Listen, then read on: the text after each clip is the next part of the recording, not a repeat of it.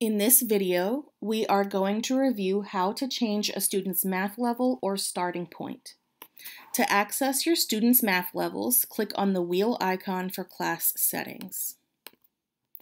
Math level is typically set by a diagnostic or by benchmark scores. However, you as a teacher can also make changes based on your student's needs. First, identify the student whose math level you want to change. As Justin's teacher, I know that his needs dictate that he'd be more successful if his starting point were sixth grade instead of seventh grade. Select the new math level from the drop down menu and click on it. Then be sure to click on the blue Apply Settings button. Let's verify that Justin now has sixth grade material in his learning journey. Click on your Learning Journey tab at the top of the page.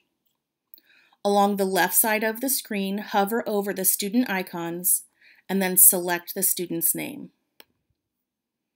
We can see here that Justin now has sixth grade material in his learning journey, so his math level was successfully changed.